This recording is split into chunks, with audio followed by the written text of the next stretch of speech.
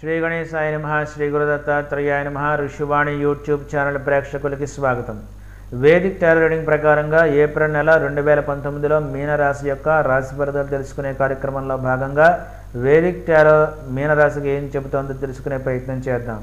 మీ Vedic tarot reading పరిశీలించినట్లయితే కనుక మీరు నెలలో ఏవైతే మీరు ఆలోచనలు చేశారో మీ ఆలోచనలు కార్యరూపం దాల్చడానికి మాత్రం కొద్దిగా ఆలస్యమయ్యే అవకాశం కనిపిస్తోంది.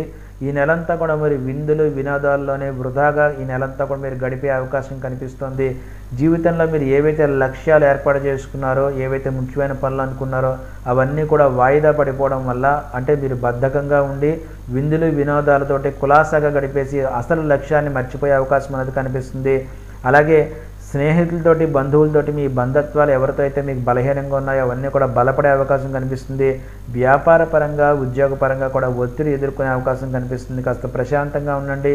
మీరు ఏవైతే కోర్టు కేసుల్లో చిక్కుకొని బాధపడుతున్నారో ఆ కోర్టు కేసుల నుంచి మీకు అనుకూలమైన తీర్పులు వచ్చి ఆ కోర్టు కేసుల నుంచి చిక్కుల నుంచి మీకు ఊరట పొందే అవకాశం కనిపిస్తుంది. ఆరోగ్యం ఈ నెలంతా కూడా సామాన్యంగా అనుకూలంగానే ఉంటుంది. ఇక మీకు ప్రతికూలమైన తారీఖులు చెప్పడం జరుగుతుంది. ముఖ్యంగా మీన రాశి వారికి నెల ఒకటి రెండు మూడు పది పదకొండు పన్నెండు పంతొమ్మిది ఇరవై ఇరవై ఒకటి తారీఖుల్లో ప్రయాణాల్లో తగు జాగ్రత్తలు పాటించండి. తప్పనిసరి ప్రయాణం చేయవలసి వస్తే కనుక కొద్దిగా ఆవుపాల్లో నువ్వులు వేసి ఈశ్వరుడికి అభిషేకం చేయించుకోండి. అలాగే మీ ఇష్ట దేవత ఆరాధన అనేది చేసుకోండి. ఇక మీన రాశి వారికి నేను ఇప్పుడు కొన్ని రెమెడీలు చెప్తున్నాను. ఈ రెమెడీలు పాటించినట్లయితే మీకు చెప్పబడిన దుష్ప్రభావాలన్నీ కూడా తొలగిపోయి ఈ నెలంతా కూడా మీకు అనుకూలంగా ఉండే అవకాశం ఉంది. ముఖ్యంగా దుర్గాదేవిని ఎక్కువగా ఆరాధన చేయడానికి ప్రయత్నం చేయండి దుర్గాదేవి పూజ ఎక్కువగా చేసుకోవడానికి ప్రయత్నం చేయండి.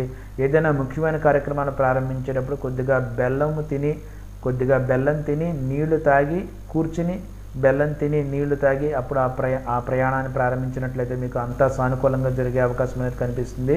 ముఖ్యంగా ఈ నెలలో మీకు ఎక్కడైనా ఆలయంలో చండీ హోమం కానీ శ్రీచక్రార్చన కానీ నిర్వహిస్తున్నట్లయితే కనుక తప్పనిసరిగా అందులో పాల్గొనండి. చండీ హోమం చేయించుకోండి శ్రీచక్రార్చన చేయించుకోండి తప్పనిసరిగా. ఈ నెలంతా కూడా మీకు చాలా అనుకూలంగా ఉండే అవకాశం ఉంది. శుభం.